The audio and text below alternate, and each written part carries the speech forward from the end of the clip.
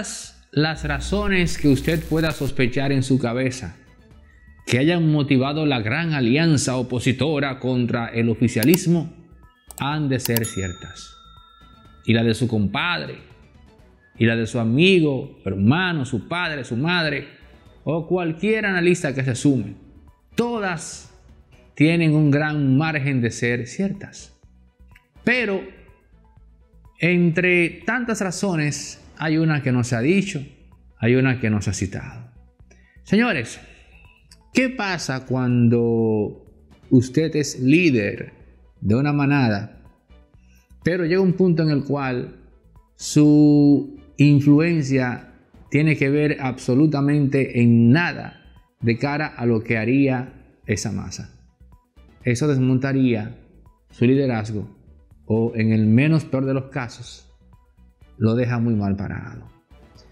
Aquí estamos olvidando que la alianza que se está dando es entre un partido que se dividió y la otra facción se creó de manera reciente. Esto significa que es una única base. Es el PLD que está dividido en dos. No es una alianza entre dos partidos autónomos, por así decir, que tenían su base orgánica propia. No, es una base que se dividió en dos. ¿Y por qué esto es determinante? Bueno, pues porque en una segunda vuelta no hay forma humana en la cual usted pueda impedirle a la base de la fuerza del pueblo que vote por el PLD si este fue el que quedó en segundo. Pero el mismo principio opera si es a la inversa. No hay forma en que Abel o Danilo le puedan impedir a esa base que vote por el partido de Leonel, porque es la misma base. Y yo le voy a explicar cómo opera aquí el sentido de la cercanía. Bueno, Juancito Pérez se fue con la fuerza del pueblo y su amigo Tomás se quedó en el PLD. De repente se ve que el PLD queda en segundo. La única esperanza que tiene Juancito Pérez de quedar en el gobierno es hablar con su amigo Tomás del PLD para que ese asunto, viendo él que él es el que puede llegar al poder, ¿no? Pero hablar con Tomás. Ese ejercicio usted lo va a multiplicar por cientos de miles. Y ese simple ejercicio es lo que desarticularía la influencia de Leonel o de Danilo o de Abel en caso de que en una segunda vuelta eh, segunda vuelta, ¿no? Eh, digan a sus bases, no, no vamos a apoyar. Bueno, Danilo dirá que no apoyen, pero con toda seguridad, y él lo sabe, esa base que es la misma irá a votar por la fuerza del pueblo. Lo mismo pasa si es a la inversa. Aunque Leonel diga no, si es que se expone, lo dudo, esa base irá a votar por el candidato del PLD porque es una misma base, señores. Leonel, Danilo y Abel tienen que estar conscientes de eso. Y antes que exponer su liderazgo a bajar una línea para cuidar las formas que no serán respetadas, con lo cual se laceraría, se desmontaría, se erosionaría su liderazgo, lo preferible es, como se dice en buen dominicano, ponerse adelante. Y ya se sabe que en efecto hay un acuerdo que el que llega en tercero y se queda afuera apoya al que queda en segundo en una segunda vuelta. Y ya, problema resuelto. Pero si no lo hacían así, corrían el riesgo de que se diera el escenario que planteé, en donde las bases por inercia van a votar por el candidato que quede en segundo lugar. Y lo van a hacer por inercia, señores, porque se trata de una única base. Ese aspecto ontológico propio de la conformación de ambos partidos es lo determinante. Y si bien es cierto que la alianza tiene otros componentes, también tiene ese aspecto. Tenemos que tomar, dirían ellos, el toro por los cuernos. Tenemos que ponernos adelante porque sabemos que en una segunda vuelta eh, la gente va a votar por el que quede en segundo. Porque, reitero, es la misma base partidaria que hace unos cuantos años se dividió en dos porque uno de los gallos, ese gallinero, dijo, no, hasta aquí llegó ya. Es todo gallo en este gallinero, no pueden seguir. Y ya usted se conoce el resto de la historia. Los sábados ahora son de los dedón. Sí. Todos los sábados te un millón. Hay una carabía en la población. Con el millón del sábado, de la los Y la Garra 4 te trae sábados. Y es que por cada jugada que realices de domingo a sábado, generas un código automático para participar en el sorteo de un millón gratis cada semana. A sus jugadas de la Garra 4, porque a partir de ese 29 de julio participas por el millón. Y guarda tus tickets, porque cualquier sábado del año, Lotedón te regala. En tu bolsillo un millón. Yeah, de Lotedón. Consulte las bases de la promoción. Les tengo una muy buena noticia de Farmacia Medicar GBC. Ya tienen su app.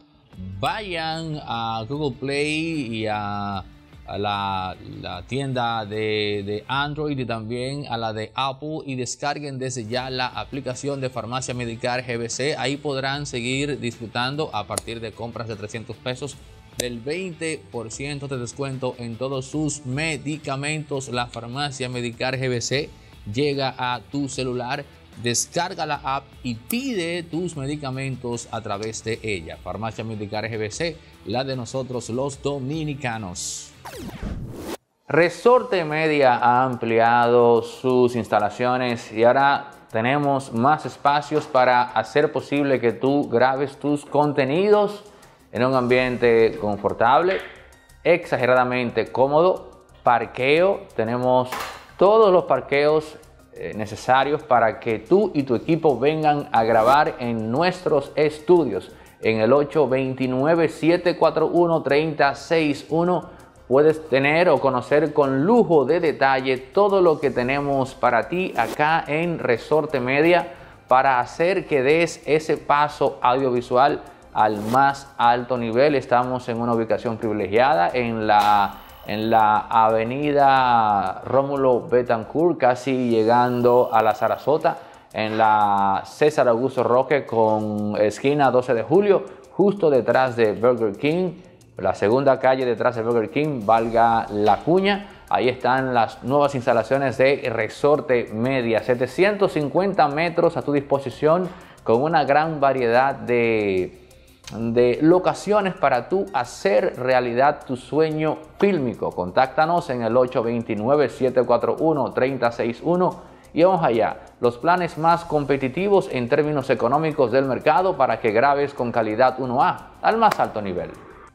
Atención a todos los profesionales, emprendedores y empresas medianas y pequeñas que quieren tener su contenido de calidad circulando por las redes sociales dando a conocer sus servicios. En Resorte Media hemos habilitado una unidad audiovisual especializada en la producción de contenido corporativo, empresarial y para todo aquel emprendedor que quiere acogerse a aquello de que dice que una imagen vale más que mil palabras en efecto, podrás tener las mejores imágenes, la mejor calidad al precio más competitivo del mercado para dar a conocer tu servicio a todos acá en República Dominicana.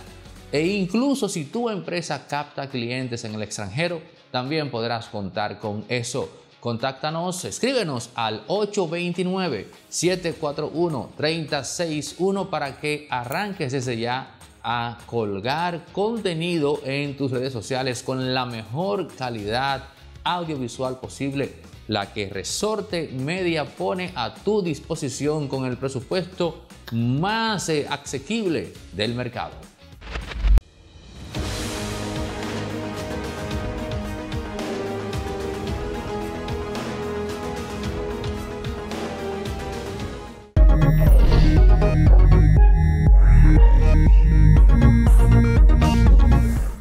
O sea, el puesto, el cargo. Cumplir con su partido.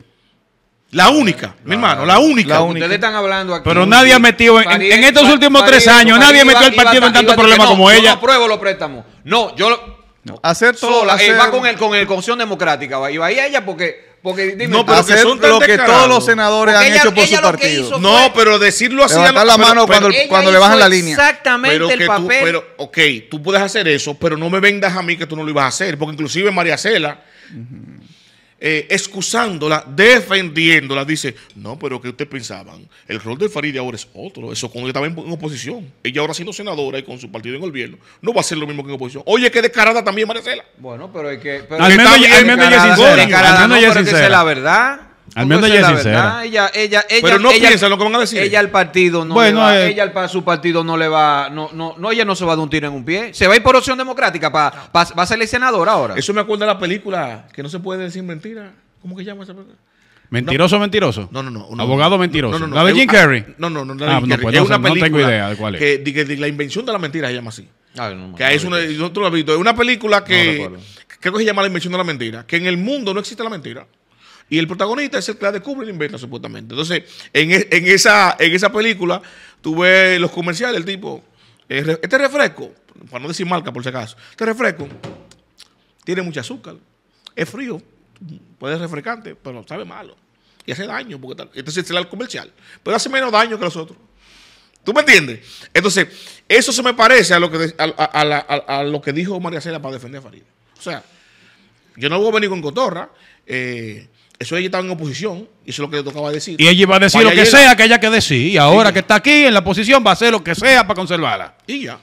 Ahora, ¿qué es lo que está Igual que mal? nosotros. Pero no Igualito- robamos todo. Eso suena igualito Maquiavelo. que No todos robamos estos todo. Se parece mucho a Maquiavelo eso. Pero no robamos Igualito todo. que todo esto funciona. Pero yo no veo diferencia. Lo que ha hecho Farid es lo mismo que han hecho todos. ¿Qué está mal? ¿Qué es lo Nada, que, qué es nada, lo- nada, qué es lo que nada está diferente. mal? que ella Que- se fue de boca. No, no, no. Ya volviendo a lo de San Cristóbal Ah. y, al, y al sentimiento que supuestamente los legisladores deben mostrar públicamente. ¿Qué es lo que está mal? Que esto se haya hecho en un espacio casi público o, o que se haya hecho eh, el acto en sí. O sea, ¿qué está mal? O sea, que haya trascendido Te públicamente. Usted responde. No, responde. no, déjame responderlo yo. Eh, eh, lo- los legisladores No, no, están yo obligados. no, no, yo no he hablado. Están obligados. Yo no he hablado. ¿eh? Si tú quieres Yo lo responder, único, después yo lo respondo único, no, y es breve. Yo lo que creo es que el, el- el problema Maracayo no es, no es que no lo podían hacer. Yo creo, yo creo que tiene que ver con algo ético. Y eso lesiona a todo el mundo. El- se ha decretado tres días de duelo por esta tremenda, por esta tremenda catástrofe. Entonces, yo creo que tiene que ver con algo de ética, con algo de decencia que tienen que mostrar los senadores y no lo han hecho ahí. Sobre todo, lo, si, si tanto, ¿verdad? Solamente están los PRMistas ahí. Porque si están los otros también, son otros igual de charlatanes. Todo el que ha dicho, Todo el que Todo- esté ahí todo el que esté ahí. Todo el que esté ahí un sinvergüenza. Entonces yo creo que eso es lo que molesta. No es que no se puede. Pero da- da- No dale es que de no yo quiero puede. responder aunque sea 15 Bueno, yo es, parecido. Es un asunto de la calidad. En el Senado de la República, los senadores tienen su calidad de representantes del pueblo. Entonces, si ellos se iban a su casa, fuera de sus horas de trabajo, y en otra ocasión donde ellos son simplemente los ciudadanos, seres humanos comunes, entonces ellos pueden hacer la fiesta que ellos quieran, Y darse pri- un humo y lo que les dé su gana, claro, Sin a nivel privado. Ahora, dentro de- del edificio del Senado, con los ropajes todavía de una actividad solemne del Senado, ese tipo de actividad recae sobre sus investiduras senatoriales.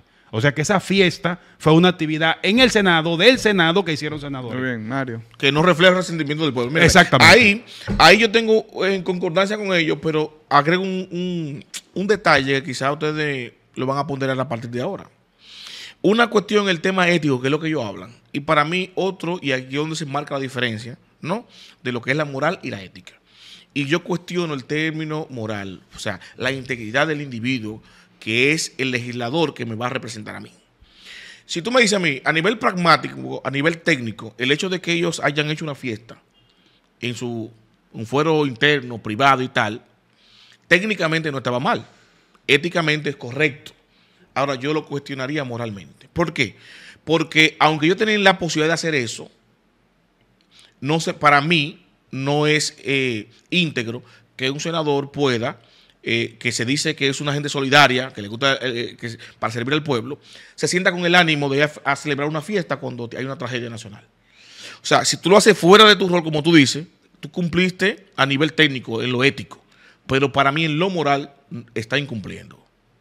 ¿Me entiendes? Entonces, una cosa es que tú puedas hacerlo técnicamente porque está fuera de tu investidura, existe un club aparte, sin estar vestido de blanco. Eh, se- se- a eso te- bueno, lo hizo, eh, lo hizo bien, dentro de lo malo, que para mí como que está mal, porque el tipo no le está dando bola a la tragedia que pasó. Ahora bien, en términos morales, que es lo que el, el- el- el punto que yo agrego en, en mi respuesta. Pero lo individual. te va- porque la- ética individual. atañe a todos. Por A eso yo lo de por- todos. Por, por eso te digo, lo que tú dices es cierto. Lo o sea, a nivel es- ético, a- es.